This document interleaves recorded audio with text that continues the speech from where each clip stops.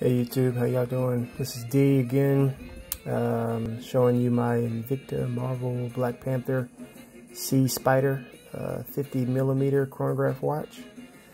Had it for about almost two years now.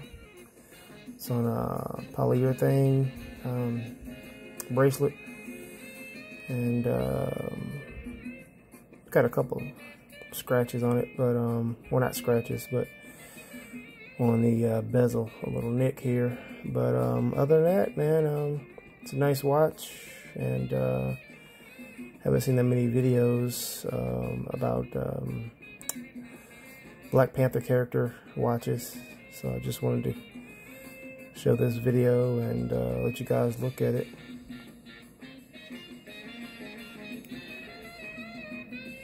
And uh, it's pretty light. Compared to uh, my other watches. Alright, you guys take it easy. Have a good one.